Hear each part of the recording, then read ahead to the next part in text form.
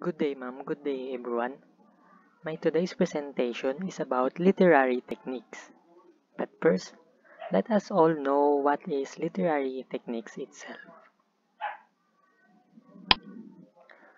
Literary techniques. A variety of techniques are used to make a piece of fiction more interesting to the reader, and these techniques are collectively referred to as literary devices. Literary techniques and literary components are two categories for these devices.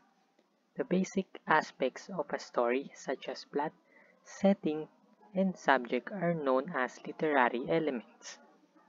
They are intimately connected to the plot of a narrative. Literary techniques, on the other hand, are the ways in which language is used to enhance the work's beauty. Literary techniques are also used to help the reader understand the author's message specifically. To make it short, literary techniques are tools to make a narrative more understandable for readers and also to convey the author's intended meaning for the readers.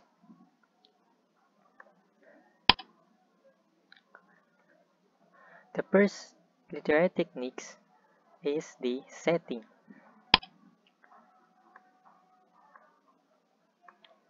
A setting is the time and place in which a narrative, whether non-fiction or fiction, takes place. It's a literary device. The environment establishes the story's principal backdrop and tone.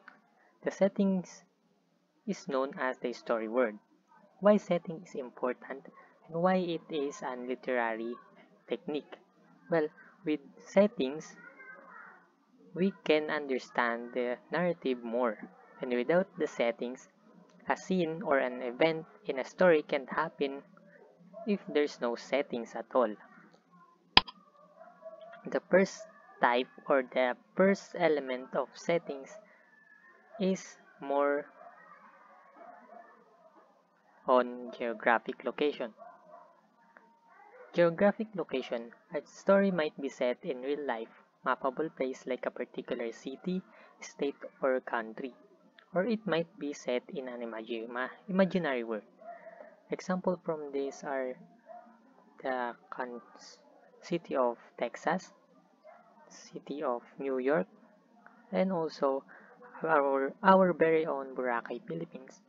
I chose the Texas because of its very famous food which is the beef and I chose the New York because of its famous Statue of Liberty and also last is Boracay because of its white sands and many tourist spots we can see. Second is physical location. A character's immediate surrounding, like a room or a temple, can be important information to highlight a narrative. My very first example for this kind of location is the Avengers Tower from an Avengers film created by Marvel. And second is the Twin Pines Mall location from the Back to the Future because in Twin, in Twin Pines Mall location, the time travel explanation is started. Third is the physical environment. A story can be set in natural world where characters are affected by weather conditions, climates, and other forces of nature. Uh, the very easy example for this is the narrative or the films that sets in, for example, jungle or desert. Example for deserts are the narrative about cowboys and others. And also a example here the film called or titled Castaway.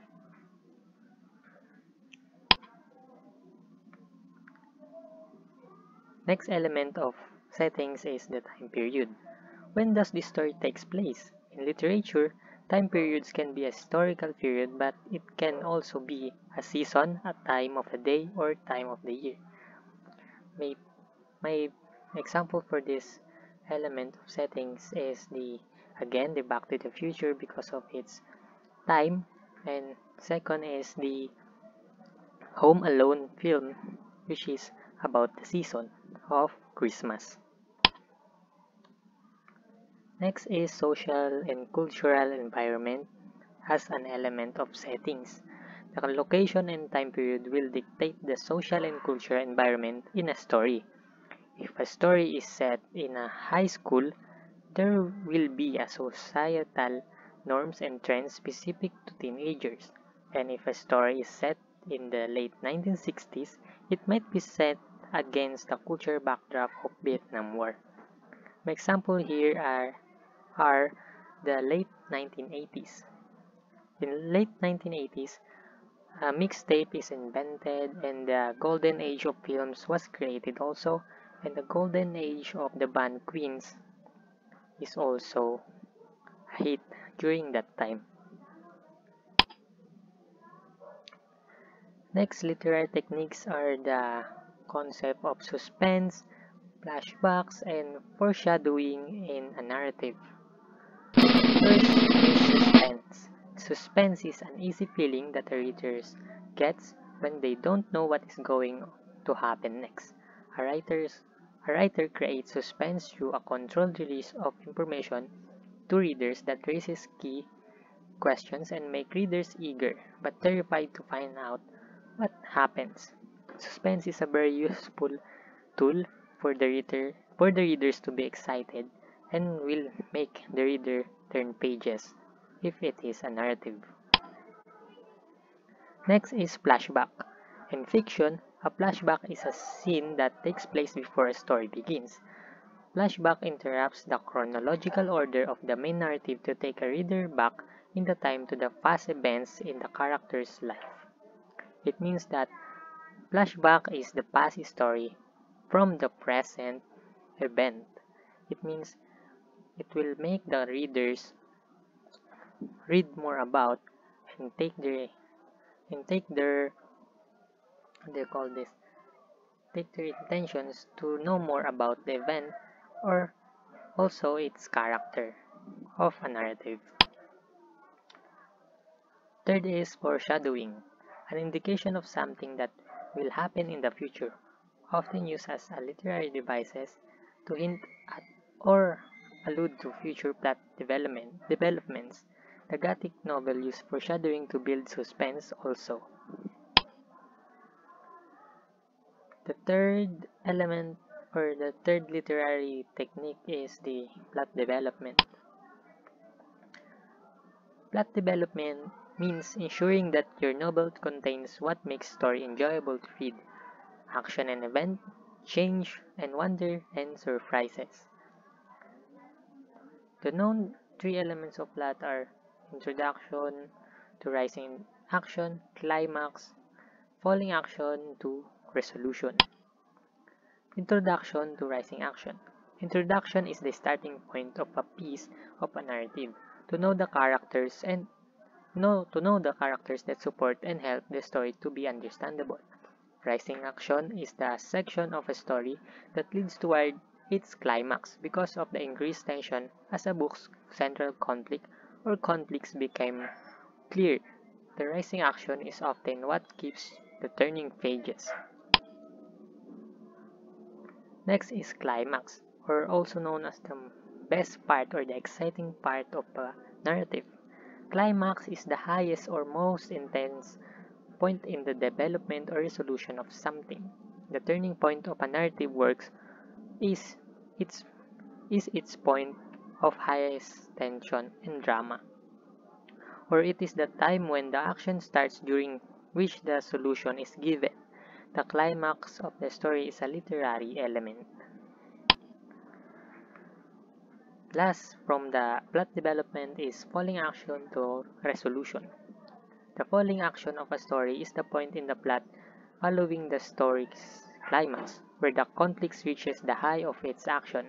From here, the plot progresses into the falling action phase, which is where the which is where the resolution of the conflict occurs. Last is the resolution. The resolution of the story is the conclusion of a story's plot also known, also known as denouement. Denouement. The resolution is a literary term for the final plot points that occurs after a story's climax and falling action. A, a resolution can be seen can be seen or series of scenes that tie a narrative arc together near the end of the story. Last is characters, which is also a very important part of literary techniques. Characters. Characters serves as the driving force in your story. Your characters create and push your plot forward. The readers can experience the world that you've, been, you've created through your characters, both from the way that your characters interact with their environment and the way that your character view their environment. Main types of characters are protagonists and antagonists. The protagonist. The protagonist is the leading character or one of the major characters in a drama, movie, novel, or other fictional text. The protagonist makes key decisions that affects the plot, primarily influencing the story and propelling it forward and is often the character who faces the most significant obstacle. To make it simply, the protagonist is the good guy, and now is the antagonist. Antagonist. In the storytelling, the antagonist is the opposer of or combat combatant worker working against the protagonist or leading character and creating the main conflict. The antagonist can be one character or a group of characters in traditional narrative. The antagonist is synonymous with bad guy, which is the opposite of good guy. Why is it important to know the literary techniques? Literary devices highlights important concept in a text, strengthening the narrative, and help reader con connect to the character and theme. These devices serve a wide range of purpose in literature. Overall, with the tools of literary techniques, we can also make a creative thought and ideas, either fictional or not, to take the to take and give our perception for every individual of the world to widen our thinking, especially in our daily lives.